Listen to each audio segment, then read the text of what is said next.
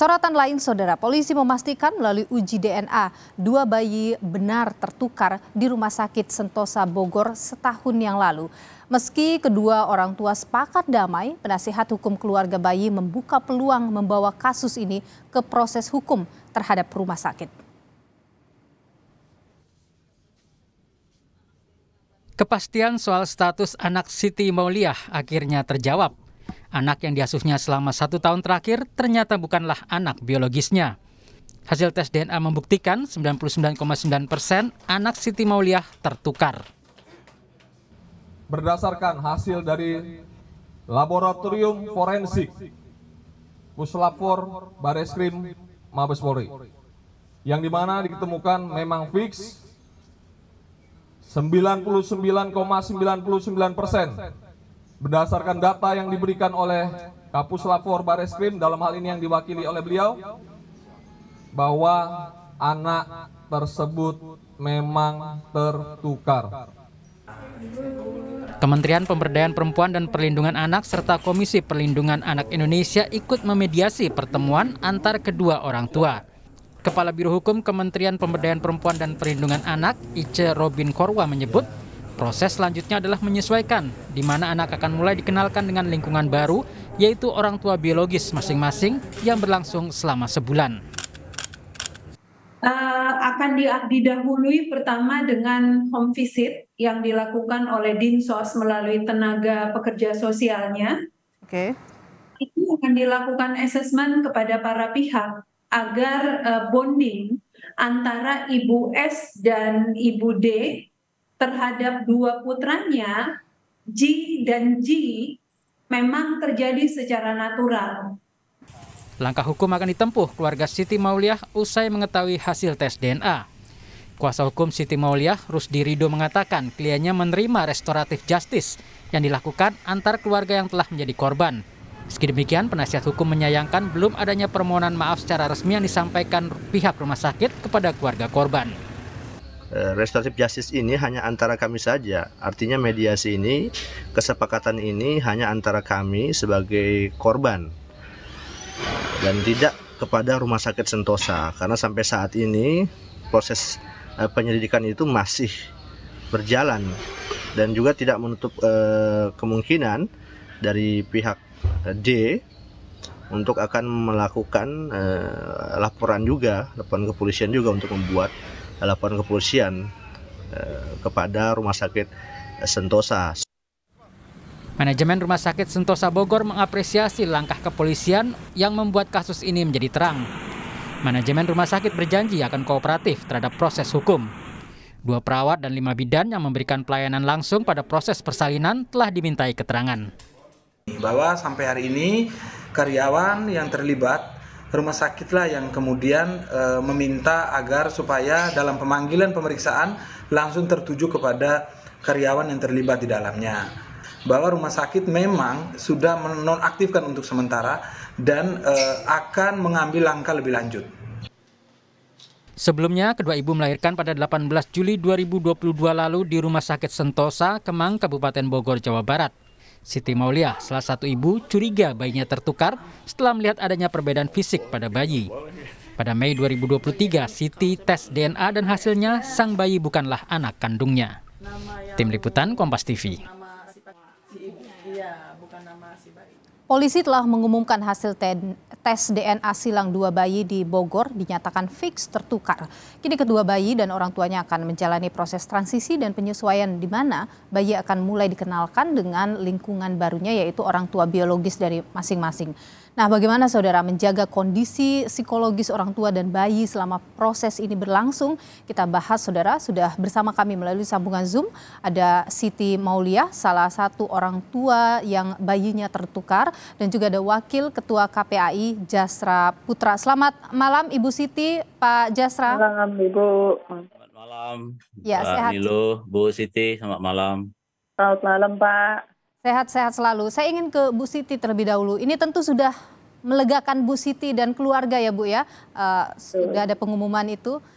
Jadi apa Bu yang persiapan untuk menghadapi masa transisi ini nanti? Persiapan untuk transisi ke depan, ya saya sudah benar-benar siap ya untuk ke depannya dan juga sudah benar-benar semangat banget untuk menempuh uh, transisi besok. Mm-hmm. Sudah ada komunikasi juga dengan Ibu DP terkait dengan bagaimana nanti akan uh, melakukan proses itu? Belum. Untuk sampai sekarang juga saya belum ada komunikasi sama si Ibu D ya, belum soalnya belum belum ada apa uh, apalagi ketemu langsung belum cuman ketemu kemarin waktu pas buka DNA kemarin itu. Hmm. Uh, Ibu Siti sudah mengetahui ya bagaimana kemudian nanti tahapan-tahapan dalam satu bulan ke depan itu? Ya, saya sedikit banyaknya udah ngerti untuk minggu sekarang mah. Jadi dari pihak Densos ya yang apa yang memantau ke rumah masing-masing ke dua belah pihak ya ke rumah saya walaupun uh, sama rumah ibu D baru minggu ke depan baru dipertemukan lah saya sama si ibu D di rumah bersama di Kapolres. Hmm. Nantinya itu ibu sudah diberitahukan pertemuan itu uh, berapa lama akan berlangsung begitu bu? Uh, kurang lebih ya bisa jadi sehari, bisa jadi sehari semalam. Hmm. Tapi ibu sudah bertemu dengan uh, anak kandung ibu ya? Sudah melihatnya? Udah, udah, udah. Kemarin waktu pas pas buka hasil hari Jumat kemarin. Hmm.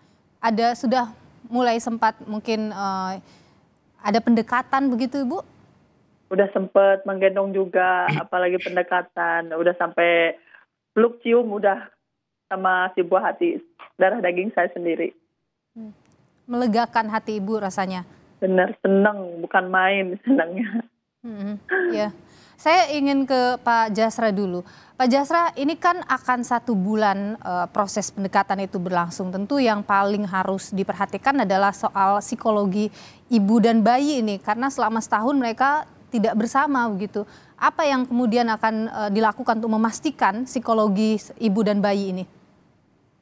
Iya, eh, jadi dari beberapa kesepakatan kemarin, eh, pertama eh, dinas sosial nanti akan melakukan asesmen terkait kesiapan lingkungan baru bagi anak, karena waktu satu tahun ini waktu yang saya kira banyak kenangan, banyak interaksi ya, bonding yang dilakukan, yang tentu ini akan masing-masing pihak akan bercerita eh, bagaimana kebiasaan-kebiasaan anak di waktu-waktu tertentu, jam tidurnya, makannya dan seterusnya.